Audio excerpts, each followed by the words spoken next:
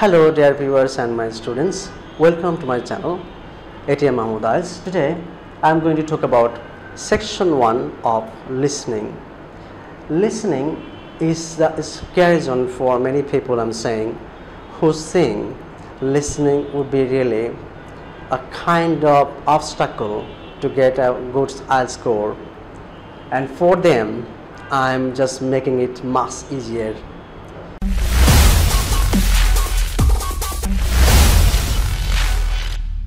let's see the things that you have to take care of um, uh, first of all কয়েকটা জিনিস listening খুব গুরুত্বপূর্ণ বিশেষ section ওয়ানে section one two three and four এই চারটা সেকশনের মধ্যে সেকশন ওয়ান হচ্ছে ইজি বাট অনেকের কাছে এটা কঠিন লাগে। সেকশন ওয়ান এই জন্য ইজি যে এখানে কয়েকটা স্পেসিফিক জিনিস থাকে। এই স্পেসিফিক জিনিসগুলোকে আপনাকে আগের থেকেই অ্যাওয়ার থাকতে হবে এবং আগের থেকে প্রিপারেশন নিয়ে নিতে হবে। আমি যেটা আমার ক্লাসে যেটা করি এটিএমসির যত ক্লাস আমি নিই, সবগুলোতে একটা বিষয় আগে করি। যত রকম ধরনের কোশ্চেন আসে, সেগুলো আমি আগে একটা এক্সাম্পল দেখাই এবং তাদেরকে দিয়ে এটা আবার টেস্ট করাই এবং প্র্যাকটিস করাই নিই। যেমন প্রথমেই নেম এটা একটা কমন ব্যাপার হচ্ছে লিসেনিং যদি সেকশন ওয়ান হয় নেম থাকবে। তো নেম কীভাবে থাকে?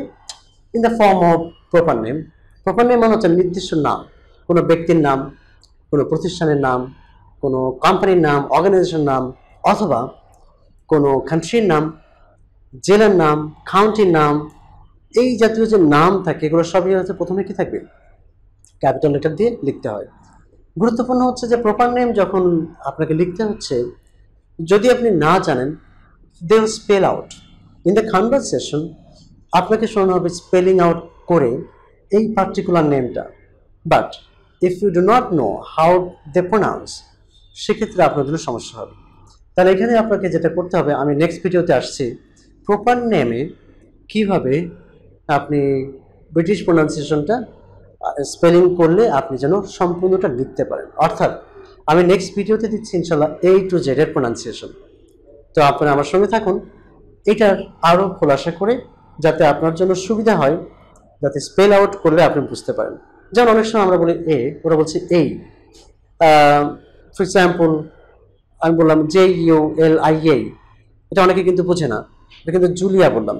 J U L I A এটা স্পেল আউট করলে আপনাকে এটা বুঝে অ্যান্সার করতে হবে, লিখতে হবে।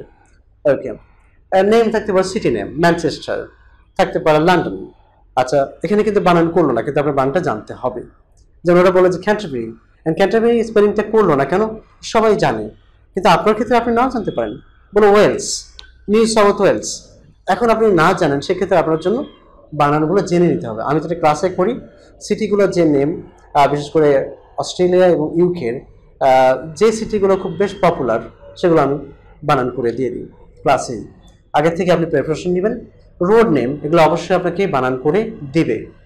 প্লেস যদি অজানা হয়, অবশ্যই বানান করে দেবে। ব্লক কোন ব্লকে আছে অ্যানেক্স কোনটা এগুলো আপনাকে আগের থেকে ওরা দেবে। যদি আপনার সেটা অজানা হয়, অবশ্যই স্পেলিং করে দেবে বাট স্পেলিংটাও জানতে হবে। নেক্সট ভিডিওতে আসছে ওটা। আর পরে যেটা লাগবে, খুব গুরুত্বপূর্ণ নাম্বার নাম্বার কি থাকবে? নাম্বারের মধ্যে বিভিন্ন রকম নাম্বার থাকতে পারে। টেলিফোন নাম্বার যেটা আমরা বলি zero one seven one two blah blah blah কিন্তু ওরা বলছে ও ওয়ান রাইট জিরো জায়গায় ও বলছে, কখনো কখনো নট বলছে। তো এই যে এই ব্যাপারগুলোতে আমি আরও একটা ভিডিওতে নাচ্ছি, যেখানে শুধু নাম্বার কীভাবে উচ্চারণ করা হয় সেটা আমি বলব। ইনশাল্লাহ আপনারা আমার সঙ্গে থাকেন। আমি একটাতে বলছি যে এ টু জেডের প্রোনাউন্সিয়েশন যেটা ব্রিটিশ প্রোনাউন্সিয়েশন এবং সেই সঙ্গে আমি নাম্বারগুলো আরেকটা ভিডিও বা আরেকটা এপিসোডে করাবো ইনশাল্লাহ আচ্ছা এরপরে থেকে পাসপোর্ট নাম্বার আপনার পাসপোর্ট নাম্বারটা কীরকম হবে? ওরা বলবে, আপনাকে লিখতে হবে। কখনো কখনো রিপিট করবে, কখনো করবে না। সো খুব কেয়ারফুল থাকবেন যেন একবারই আপনি বুঝতে পারেন। রাইট আর কোনো ধ্যান ধান just grab the thing that he was she saying to you in the listening আচ্ছা দেন ড্রাইভিং লাইসেন্স অনেক সময় ড্রাইভিং লাইসেন্সগুলো অনেক বড় হয়, লম্বা হয়। সেক্ষেত্রে আপনাকে করতে হবে। আর একটা জিনিস আমি মেনশন করি না এখানে কার্ড নেম কার্ডের number visa card master card আপনি দেখবেন যেখানে কিন্তু চারটা করে থাকে। চারটা চারটা ষোলোটা ডিজিটের সিক্সটিন ডিজিটের চারটা বলবে, আবার চারটা চারটা চারটা। এবার সিক্সটিন ডিজিটের একটা ভুল হয়ে গেলে কিন্তু সব শেষ হয়ে গেল। খুব কেয়ারফুল থাকতে হবে নাম্বারগুলোতে। কোড নাম্বার থাকে, সেই কোড নাম্বারও দিতে হয়। আচ্ছা then go for location location আপনার জন্য একটা খুব গুরুত্বপূর্ণ টিপ তা হচ্ছে, আপনি মনে করবেন যে লোকেশন বলছে, আপনারা নিজেই সেই লোকেশনের মধ্যে যাচ্ছেন। ফর এক্সাম্পল আপনাকে বলল স্ট্রেট আপনি স্ট্রেট যান তখন দেখেন আপনার লেফট হ্যান্ড কোন দিকে রাইট হ্যান্ড কোন আপনি যদি নিজে ওই পার্টিকুলার এসে যান আপনার লেফট হ্যান্ড কোন দিকে এবং রাইট হ্যান্ড কোন দিকে। এটা খুব গুরুত্বপূর্ণ right so left hand right hand straight center behind uh, at the bottom of this will see lawn walk past the lawn এই জিনিসগুলো খেয়াল রাখবেন। যেমন ওয়াক পাস মানে কি? ওটা পার হয়ে যাওয়া। হ্যাঁ? এখন আপনি জানেন না যে ওয়াক পাস মানে কি?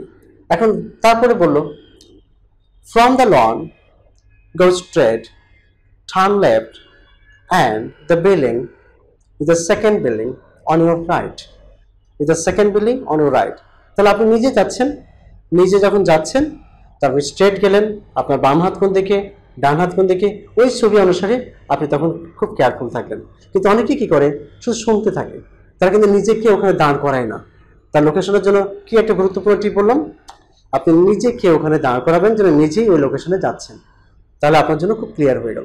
Thank you very much and now identification, which is also important in section 1. Identification could be between things, among things, or instruments, or something the persons you may have to identify. For example, there are a lot of people, or there are number of people standing or sitting in different arrangements.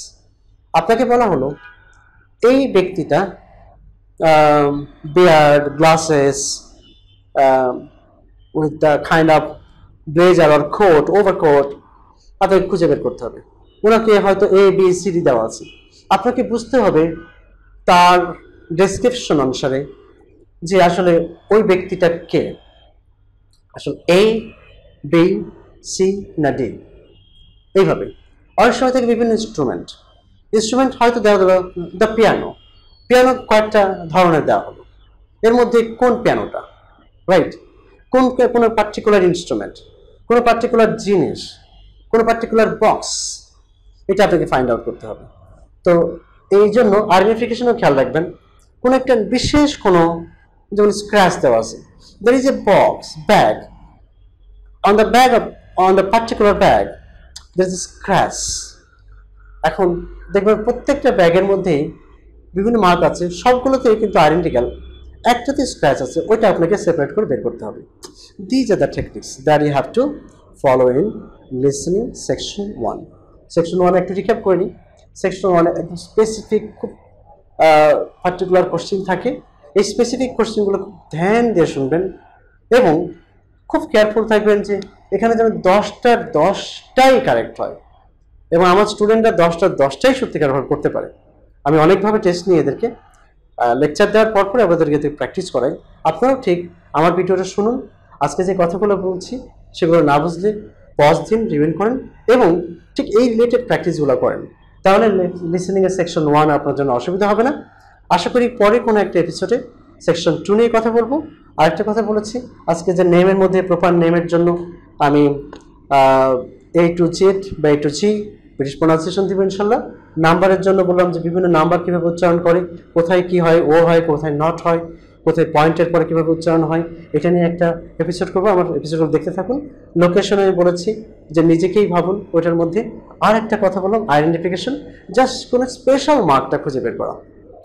এই সবগুলো মিলেই আমাদের section one আজকের ভিডিওটা আশা করি অনেক উপকার করবে আপনার, অনেক বেনিফিট দিবে লিসনিংয়ে এছাড়া প্রতিদিন, প্রতি শনিবার, সোমবার এবং বুধবারে আমার নতুন নতুন ভিডিও দেখতে please subscribe to my channel এটি Mahmud আইলস and please don't forget to press the bell button to get the notification right after the videos get uploaded to my channel ATM Mahmoud Isles. Thank you very much for watching me. Stay tuned.